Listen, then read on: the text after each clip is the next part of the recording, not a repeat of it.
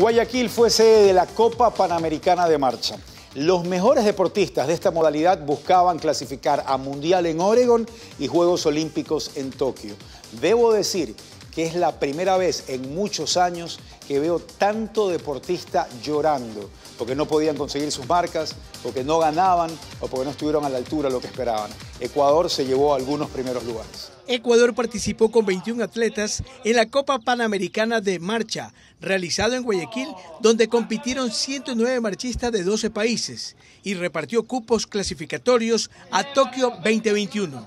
Prácticamente han venido los mejores del mundo que están en Latinoamérica y eso es importante por la presencia de equipos como México, Colombia, equipo completo. En 20 kilómetros masculino, los tricolores David Hurtado y Daniel Pintado obtuvieron medalla de bronce. Fue una competencia bastante, bastante entretenida, bastante bonita, con bastante nivel.